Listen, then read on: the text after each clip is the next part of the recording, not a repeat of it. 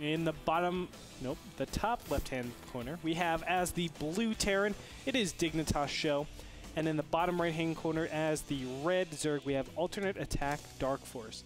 Now, Dark Force has been very disappointing this season, unfortunately. He's one of my favorite Zergs, too. I love his style. I love his composure. I love his crisis management, but he really hasn't been able to put it all together. He is sitting at 0 and 4, last in the league. Sjow is standing 1 and 3, second to last in the league. So this is basically who wants a fighting chance to move forward Or into even next season. yeah, into next season or maybe a tiny slither of a chance to make it to the playoffs.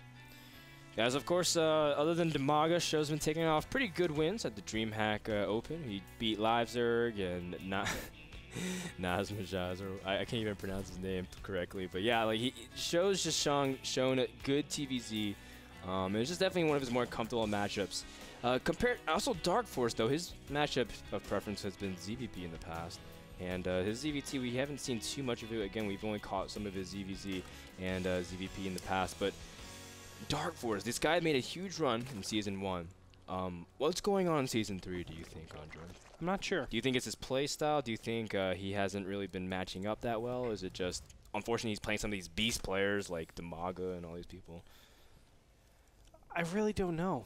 His late game has been very lackluster. He's been going all in off of three bases a lot more this season. Mhm. I think Dark Force has been trying to change it up, up and it's been too much for him. Hmm. Um, no, I'm not even going to say that because I've seen him be successful in the past. So I don't know what it is. I, I would actually love to interview him if he wins. I want to ask him. I mean, wh- what do you think it is that's been, um, you know, really doing this to your to your record and your play? Because I know the Dark Force that's good. I know Yes, we've seen it. Dark Force that we love and has been playing like a freaking beast. And you know, he just hasn't been showing up this last four weeks. Yeah, I mean, Dark Force.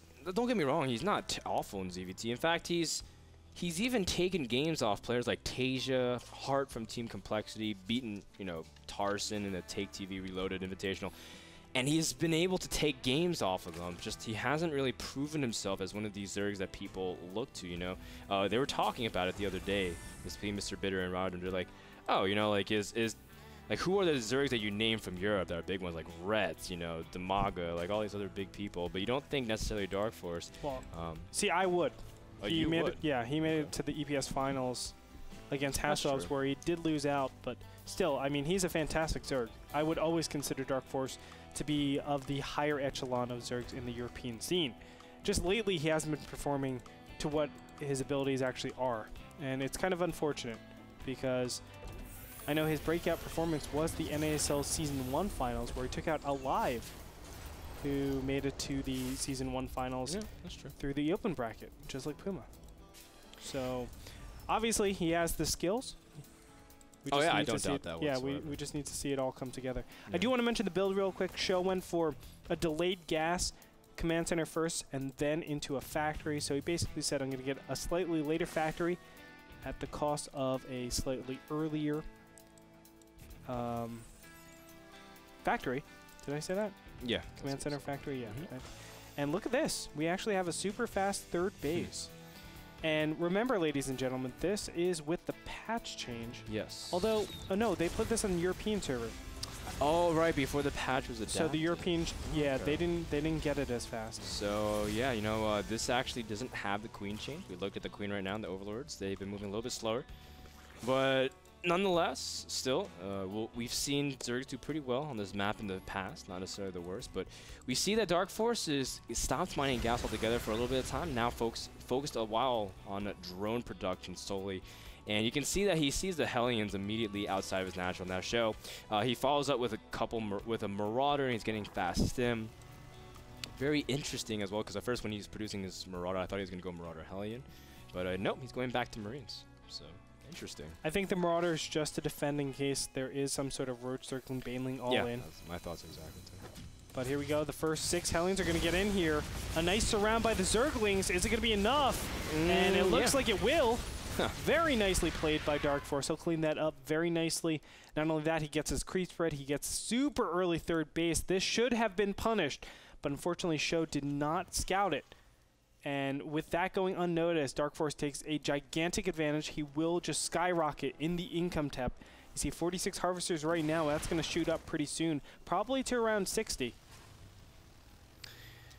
Yeah, uh, sorry, I was handed a note from uh, my my producer, StarCraftTools.net, the one that was shown on Isaac Community. Apparently that crashed from too much traffic. So That's awesome. that's uh, that's pretty funny. The well, fact that it's such an important thing. I, I'm uh, obviously going to use it. It's yeah. like a resource that why wouldn't you uh, Yeah, use it? Browser based too, so you don't have to download anything. It's pretty cool. Um, but also something that's pretty cool is this double eBay thing that we see a lot of Terrans have been doing in TPC to try to catch up in upgrades. Except Dark Force uh, just started his plus one, so in fact, Sjow's going to be ahead of that and ahead of the curve when he goes for if he goes for 2-2 timing.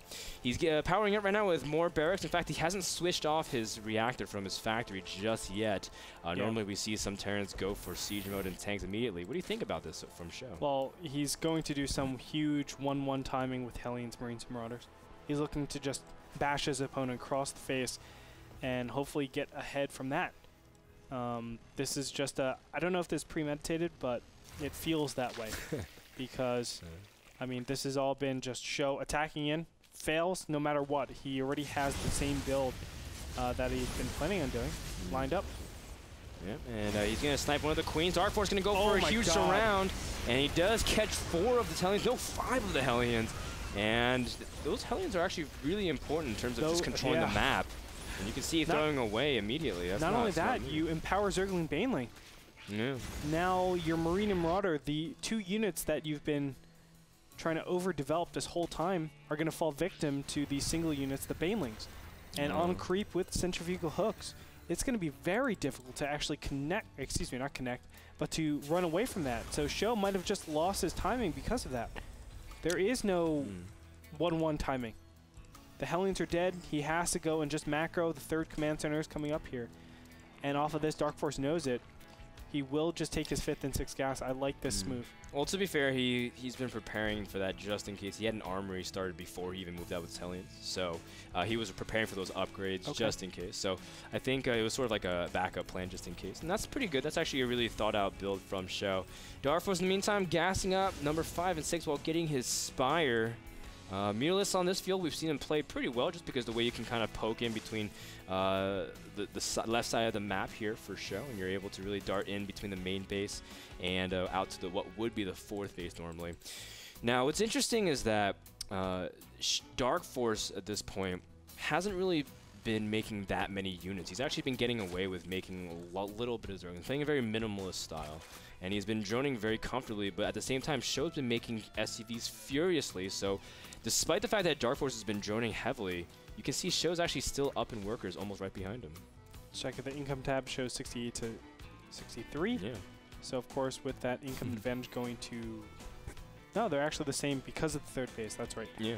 And now Dark Force is going to see that his opponent wants his third base. And this might not end up so well for Sjow, but Dark Force is not springing to action right here. I think he could have actually clamped down on this. Sjow does have 1 1 2 2 approaching here with 1 0 upgraded, but only uh, Carapace being upgraded at this point. He's not continuing on with the upgrades. He, as you said, switching over to Mutas, which are good, but they're off time. 13 minutes in, your opponent already has 2 2. Uh, mutas don't do well when they're 0-0 against 2-2 Marines. Uh, they're just Yeah. not cost efficient. There's very hard troubles at actually making them cost efficient. But I think this is actually just a defense against Oh. drops. He's not actually doing this to mass a ton of mutas. No, he's not. In fact, he's using a huge amount of his gas for 18 Banelings on top of the uh, existing 10. That'll put him at to almost 30 Banelings, and he's got the creep spread also to really send in a huge momentum wave for these Banelings. If he chooses to commit to it, Dark Force runs all the way around. He's trying to go for a huge three-prong attack from the left, center, and the right. And will Sjow be able to defend? His Marines are coming back as fast as they can, splitting up, but they're only going to meet another group of Banelings. A fantastic flank from Dark Force. And the SCVs are trying to run, but they will die just as quick as they left. As you can see, Sjow has nothing really left to defend third. No, he doesn't. The tank count was just too low. And this is the big problem with going this style, the 2-2 style. You just don't have enough AoE to deal with a mass Zergling Baneling hit. And here we have it. Dark Force is just monstrously ahead. Looks like he will fall back. Let's take a quick look at that one battle uh, where he just went so monstrously had Yeah. this this flank was just absolutely fantastic. It was so good too because uh, the Zerglings just got there in time to absorb a lot of hits from the Banes and the flank from the Banelings. How can anyone forget that? Exactly. As there's a small little sliver uh, making sure that the units cannot escape. But do note that that was a very minimal amount of siege tanks. Mhm. You can see by just getting so many Hellions and actually trading them, Sjow was really put in a tough situation. What does he actually go for for at that position? It's so hard to because he knows, or at least his opponent knows, his AoE is so far behind. So does he actually just Mm. wait to take his third, or does he go and try to grasp it by the horns? Obviously, he tried to grasp it by the horns. Does not work out too well Yeah. when against Zergling, Baneling galore. Well, uh, the big thing is that Dark Force now has a lot of comf uh, wiggle room. That's what I'm going to say. Because normally this is the time if Terran they can't stop the third from going up, then their hive timing is very uncomfortable for them. They can't necessarily get it that easily. Terrans can move out, try to pick a time before Zerg can get the Brood Lords and Fest, whatever they want to get, Ultralisks, plus three, plus three. Um, and now Dark Force has that flexibility. You can see he's getting up hive, and he can continue to put on a lot of pressure. In fact, he's got a, a lot more Mulus this time around. And he's got 93 Zerglings, the huge Zergling style we've been seeing out of many players like Morrow and uh, July Zerg and DIMAGA. Still very prevalent here on Bel'Shir Beach. But this is an upgrade style still from Sjow. He's getting 3-3, and his opponent is just now about to hit 2 melee attack. That'll help, obviously, for this attack, but um, still the upgrade advantage goes to our Terran hero over here, and he might be able to defend this. If he defends this, just pushes out with a 3-3 timing, that could be pretty strong, but we'll see right now. Oh, the Thor trying to absorb a lot of the blast. Oh, the Banelings all explode on the tank and the Thor. That's exactly what Sjow wants. He just has to split his units perfectly, and look at that. Sjow with a fantastic arc, able to annihilate the remaining of the Banelings and Dark Force. His attack was pretty much nullified. Where is your supply lead, Dark Force, as they are currently almost dead even. Dark Force was up about 30 supply there, uh, completely evaporating to the might of those Marines. Yeah, the perfect spread was able to do it. Very nicely played, and it looks like the Marines are just pressing forward. Now, as I said, the 3-3 is going to hit. As soon as that 3-3 hits, Sjow will know this is a great time to actually Yes. push out. I will 100% have the upgrade advantage over my opponent. There's just been too much gas that's been traded Mm. this whole time. He saw the upgrade happen. 2-1 is up for the Yes. Zerglings. So Sjow right now in a fantastic position. He just needs to make sure he's not going to fall victim to any Banelings. He's not. Oh, he's not in siege mode either. In fact, he's gonna siege really late. And oh no, the Banelings are gonna crash onto the Marines uninhibited. And Dark Force picking a perfect time Sjow. His 3-3 did not even really finish No, in time for that battle. didn't. Plus three armor just completing. Wow. Sjow has to go back to the drawing board, immediately loading up his medevac and. Uh, Probably going to go for a drop. He has to make something happen. Brood Lords are about to come out. Greater Spire finishing up. Infestor's almost out into the field. And from this point, Dark Force's upgrade uh, disadvantage only gets stronger. So, Exactly. yeah. He can only equalize, which gives him the advantage because he has more bases than his opponent. But I have to say that one last battle, that hurt Mm. him so much. That was a position where I felt like Sjow had a commanding lead. If only he waited a little bit, just clear out the creep waves, siege up your tanks, remove the creep tumors, and you're great. You have that 3-3, you're looking fantastic. But now Sjow needs to remax in units, and that will give Dark Force, it should give him the time to actually get his upgrades. Uh, well, he's not getting it right now, but plus two Carapace is on the way. He Mhm. should get his plus three, plus three ASAP. Yeah. Uh, usually line that up with your adrenal glands accordingly. But, uh, I mean, it's been working for Dark Force thus far. The, n- the name of the engagements for Dark Force has been positioning. He doesn't necessarily need uh, the upgrades if his Banes are connecting the way they have Exactly, been. Other than that one time that exploded on the Thor and the Siege Tank for Sjow. But it's been very back and forth. If Sjow could swing the next battle into his favor because that before any significant amount of Brood Lords come out, because there's only two Corruptors, and uh, as a result, only two Brood Lords could be out. And Sjow, again, he's plus three uh, vehicle weapons have started, so he still has a pretty significant upgrade advantage. The only thing is that he's losing traction, and Dark Force's creep spread has been immaculate this game. Yeah, that empowers the Banelings so much. You can see the counterattacks as well are really strong. I do want to mention that Sjow has nothing to say about Broodlords. He has no response. Hmm. Only a single starport. Let's see the upgrades. Are they? Hmm. I highly doubt. No, No. Plus, plus one isn't even upgraded. A lot of times you will see Terrans doing that actually. After the plus two attack, they'll just stop completely in uh, the weapons, the vehicle weapons, switch over. but Broodlords will be so powerful. And I like what Hassel. Hassel. What? I like what Dark Force is doing, just slowly, you know, uh, trading off his Zerglings for a couple of Broodlords. Mhm. And he is able to do a little bit of damage. That's Yeah. great. But all he needs right now is time. And he can get an even larger Broodlord count with Infestors as well. That should signal to Sjow um, that he's like, okay, well, oh, actually, hold on. Talk about signaling to Sjow. The fact that he's letting these Zerglings and Muta go into the main. Oh, no, they're targeting my the army. A fantastic choice. That is of the utmost priority. As uh, right now, there's, uh, that, those buildings being taken out is very devastating indeed. And the best part is Dark Force is still freeing up supply ultimately for more Corruptors, more Infestors, whatever he wants. At this point, he uh, needs a little bit more space for uh, more army units. Sjow, uh, he's he's looking more and more tight, but he does have a drop here into the main, trying to see if he can pick off whatever he can. But unfortunately, hasn't been able to do much damage. As you can see, all aggression from Sjow has been pushed down for this, this one. And now think, all the way back then when he uh, when he got his or he didn't get his 3-3, excuse me. I was going to say he had his 3-3. Now he has his 3-3 suited up, but it's coming, what is that, like 4 5 minutes later than it should have? Uh, and I don't Mm. think he can actually stop this. Oh, nice fungal man. growth. Keeps all the units in place. The Banelings will connect. Now the reinforcements of Sjow will come up here, but Broodlords are inbound. And this will do massive damage the Siege Tanks need to unsiege. One Siege Tank will go down, two Siege Tanks go down, and Chase is being given. Oh, and Sjow's gonna try to see if he can fight back at this choke by the Vespene Geyser, but Dark Force doesn't even care. He's just gonna roll in his units immediately, and the Banelings aren't really that effective, but they're still uh, infestors ready to fungal if he can bait the Marines out. of course, Show does not want to extend too far, but man, these are close calls, and Sjow can't afford to keep stimming his Marines that much longer. A lot of them are pretty weak. They could die to one fungal if that was a good. It looks like this drop will be cleaned up pretty easily. There's tons and tons of corruptors out in the field. He's just itching to turn those into 18 Broodlords. corruptors, you're right. And he can he's transforming four right now and once the Broodlord count gets extremely high, especially because Sjow's still not making Vikings.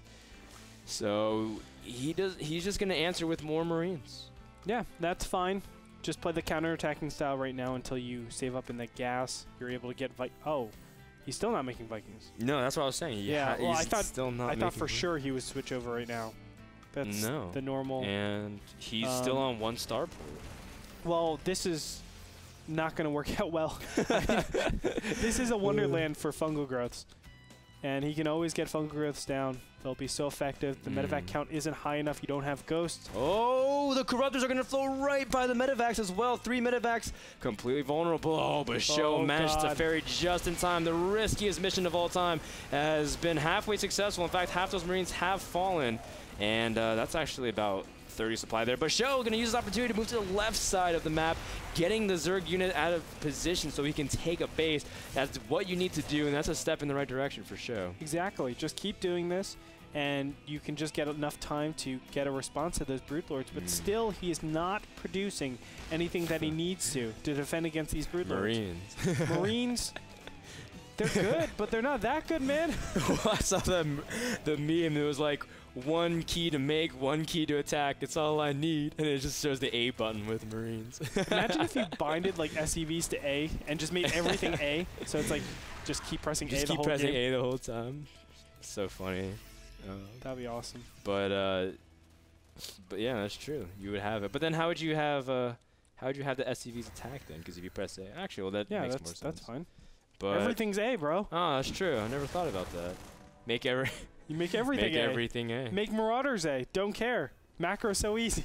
Press A once. and it makes two at the same time, like a Tech Lab reactor in the campaign. Exactly. Another counterattack attempt from Dark Force, and Sjow continues to let him in, and this is just annoying.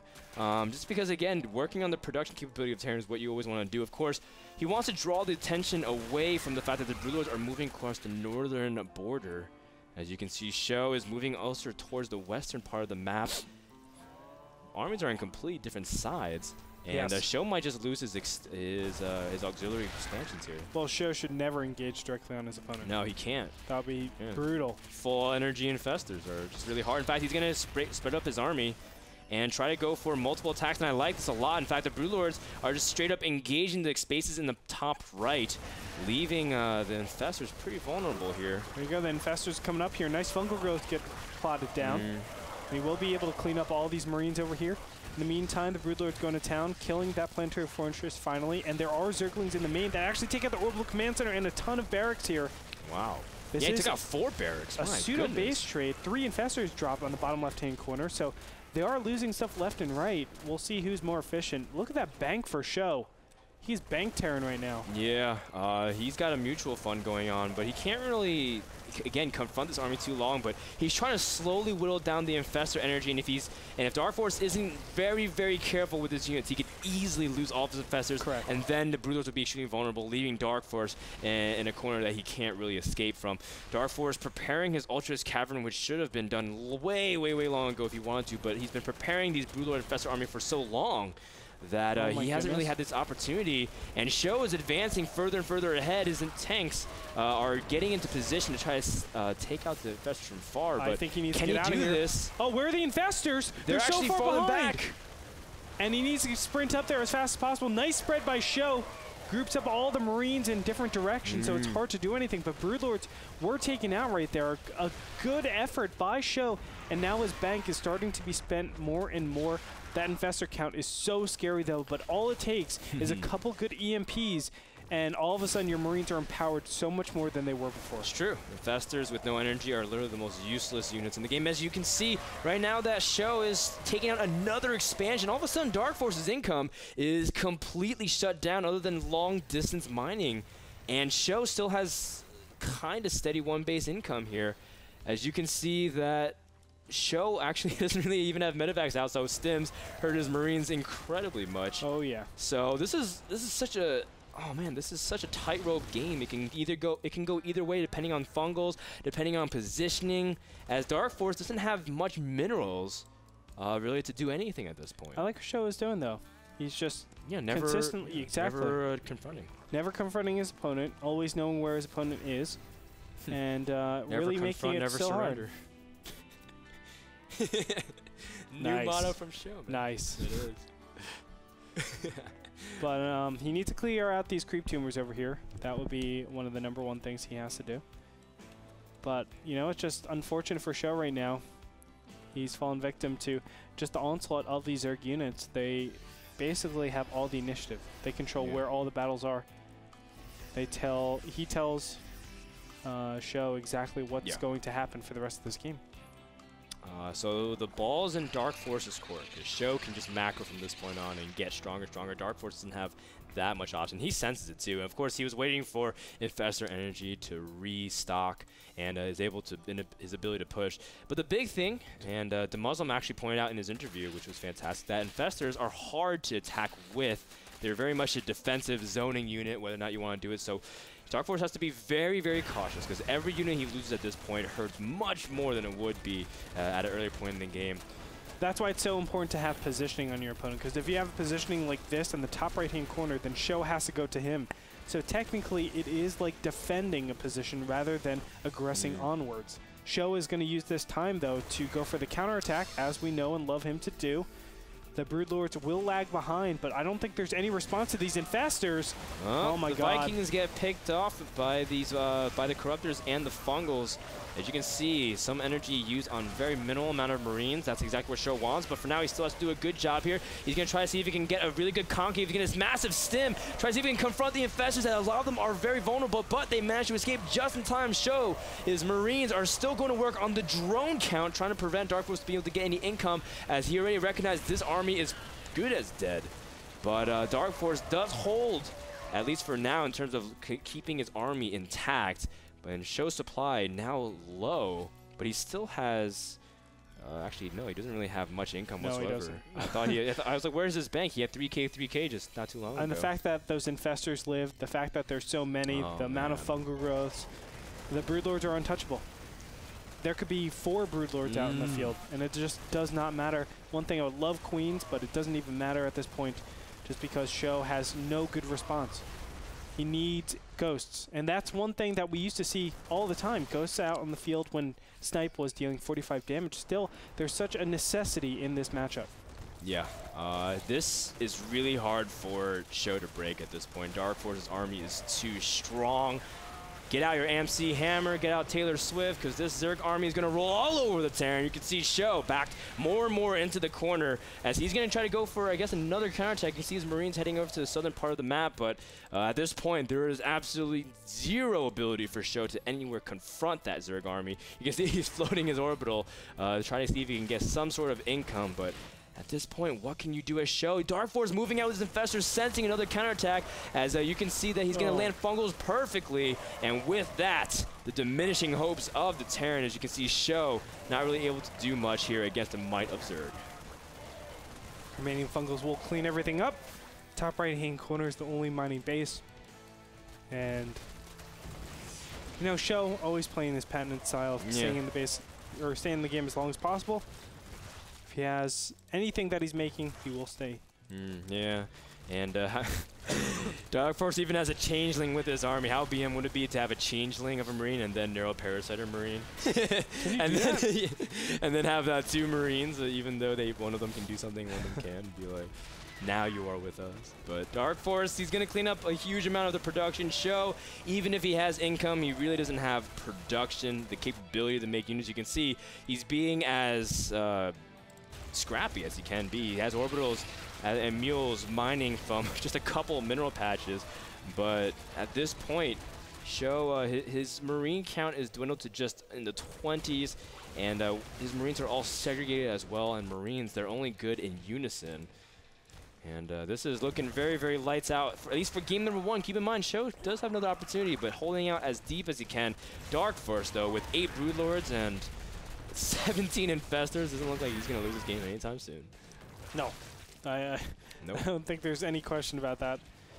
Sjow, it's we're just waiting for him to uh, basically leave the game, just because the game we know the game's over. I mean, he knows it too. He's just trying to He's remaking all his barracks, man. Uh, and it's because he feels like his opponent really can't get back into the game. Well, not uh, well. Well, you know what, man? Bitter showed me this game the other day that Terran won when he had zero supply against Zerg, and Zerg had like 10 supply. So weirder things have happened. in how many mules were there? Huh? How many mules were there? I, I don't know, but there were probably a lot. the idea is that Terran had zero supply and he still won. So the crazy things have happened in the past, but shows now supply blocked pretty deeply. So even that the fact that he has these barracks, he can't make anything out of it. And planetary fortresses, as great as they are against some units of Zerg, they're not really good against Broodlords. Oh, and these Marines. Just kidding. Uh, the Marines are actually trying to clear up creep on the left side, and uh, Oh, it's really funny. They're they're trying to acquire the Marines like in the campaign, you know, where you move nearby Marines, and all of a sudden they start working for you. that doesn't happen with changelings. No, does not work Unfortunately. whatsoever. You can't pay them enough money. It's it's, tr- it's, it's really cool too because loyalty is really hard to find in StarCraft too, man. So, but uh, you see that uh, Dark Force clearing up the remains. Oh, he's going for the counterattack. Frodan, this might do a lot of damage. Yeah, the Ultralisk Cavern is completely exposed, but you have to think, even if they kill buildings, the Broodlings would be able to Oh clean up this God. army. Just the Broodlings alone Yeah, should be able to clean up everything. This is like a Master Asia TT1 thing. This is uh, this is coming down to the wire, guys. Oh, 34 oh, supply oh, against 108. Careful, infest. Oh, they're good. The infestors 'Cause should be no- completely good to go. There's no sk- Oh, he does this GG scan. timing is so epic from Yeah, Sjow. I know. This is uh, this is probably one of the most epic GGs I've ever seen. All he needs or to do from here. GGs. All Look at those SCVs, man. They're they're that planetary fortress is gonna live as long as Dude, he's got the resources. he's got 1,300 minerals. He don't care none. he's like, no problem, son. Oh man, I think uh, now Dark Force is starting to focus more onto those planetaries. No. But look at the resilience of Sjow, and uh, GG. man, there it is. GG. He still had a command center though. Good lord, Dark Force takes game number one. I wouldn't have seen that coming. As uh, that was that was so close, but in the end, Dark Force barely irks out the game on matter. Beach. Sjow heartbroken after that devastating loss. Ladies and gentlemen, that game was brought to you by the lovely folks over at Kingston HyperX. Go check them out. Of course, Kingston HyperX, one of the big supporters here at the NASL and all over esports.